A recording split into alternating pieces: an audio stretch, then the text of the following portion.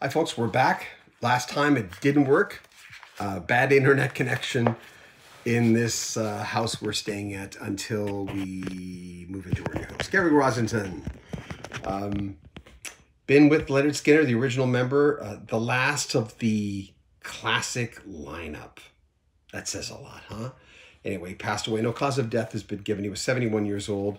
And we were mentioning in our last stream when we were trying to get this going that that he was like he was the lead rhythm guitarist of the band, but just struck a lot of people. When I saw this, I went, "Wow." Do people realize who the, what this means? I mean, it, it's it's a big thing. You want to be, and I remember he wanted to be a baseball player. He's very, very big baseball fan. And then, of course, you know, you always have these plans when you're growing up. And then rock and roll strikes and the trajectory of your life changes. And what a difference he made in this band. Uh, 1973, pronounced high melody. Lynyrd Skynyrd, big second helping in 74. Nothing fancy 75. Give me bad my bullets. Give me back my bullets. It's very Lynyrd Skynyrd of them to say that. In 76, one more from the road 76. Street Survivors in 77. And three days later, of course, was that ill-fated flight um, that shook up the band um, Ronnie Van Zant, Allen Collins, uh, Steve Gaines. It was uh, uh, and Steve Gaines' sister. Hello from uh, Lauderdale by uh, by the sea. Oh no, I'm dreading this day. Alex Knight. Hi, Alex. Thanks. Sad news. The first live broadcast we've had in a little while, but I really wanted to get on there and and to talk about it. He was with the lineup, sixty four to seventy seven.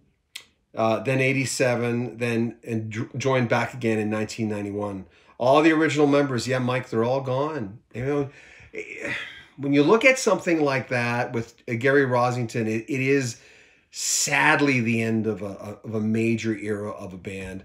You know, I I I I always knew people who got off the bandwagon for a band for political reasons, which was never a reason I didn't liked or didn't like a band. If I liked a band, I liked them. You know what I mean? Uh, and I've always, I've always, I never loved Lynyrd Skynyrd, but I liked them. And all my friends, we'd party Lynyrd Skynyrd. And Gary Rossington playing lead and rhythm guitar was a big part of that. Paul, um, hi, Gary was good in concert. Saw them in 1981 from John. Uh, thanks, John. Appreciate that. Sunday night, too. Not a lot of people, because it's Sunday night, are reporting on this. But I remember one of my friends growing up had pronounced Lynyrd Skynyrd. Uh, Timothy says, damn, absolute favorite. Mike, uh, Bob Burns is the official original drummer. From Michael, Gary was a great guitar player, but more so very down to earth man. This is from John. Thanks, John. Appreciate you chiming in. Thanks for all your comments. Whenever a guitar, um, a, a guitarist from a great band, from a legendary band. Allen was also very talented. Yeah. Hey, Pookie, nice to have you on here. But yeah, Rossington Collins Band. I remember being in a record store and hearing them play. Uh, they were supposed to play at Strawberry Festival in Lake Linda next week. Brian Johnston. Thank you, Brian. Yeah, nothing stops death, right? Didn't say original. Please carry on. Wow. Another great gone. Yeah, wow a lot of people are I think death is always a shock, no matter how old someone is. And at 71, and we all know, let's never pretend this, and they wouldn't either, that they were hard living rock and rollers, you know, living to the limit when they could, doing it the rock and roll way, when in Rome, whatever mother statement you want to get. James says, Hey, James Bashir, thank you for helping me find a smile. Uh, rest in peace, Gary yeah, we're we're uh, uh, the reason we're not in our studio and uh, is because we've been in transit. By the way, Lynyrd Skynyrd family suffering. Oh yeah, a lot of uh, Pookie, a lot of suffering in that band. When you know the fact that Street Survivors came out, I remember in '77, and because they were all surrounded by. Uh, Roger Collins band Trucker Kev was a good. Oh, sorry, I, am on my my uh, iPhone, so the co- the comments are coming really, really quickly. And I don't even have, like, uh, um, Maddie K USA, yours is too long. I can't, not that there's anything wrong with that, but I'm on my, my phone and it's coming in. Anyway, for anyone who's just joining, uh, cause of death had not been released. He he did have a heart attack um, recently. He was 71 years old. He lived the life of a rock star. When you look at all the albums, and I'll reiterate this, pronounce Lynyrd Skynyrd, the debut. Uh, I'm moving again, yeah, Pookie. 73, second helping 74, nothing fancy 75. Give me back my give me back my bullets. Uh as I said a while ago, that is so Lynyrd Skynyrd of them to have an album called that in 76. Uh, one more from the road, same year, Street Survivors, uh, 77, and three days later, the, the plane crash. There goes another great one. Banu says, yeah, it, uh, no good or bad time, right? You know, people always say, oh, I was talking to him yesterday. Yeah, everyone was, everyone was alive the day before they died, but it's it's a sort of a sad thing. When I was talking to um, which one of the interviews recently, someone was telling me uh, that they they were drinking with with uh, some of the Lynyrd Skynyrd guys. They never paid their uh, bar tab. They just they they drank. They did well. They were rockers, and they never they never really paid the tab. They just would do it and then leave.